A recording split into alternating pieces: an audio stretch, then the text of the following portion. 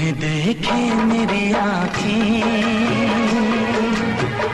इसमें क्या मेरी खता है?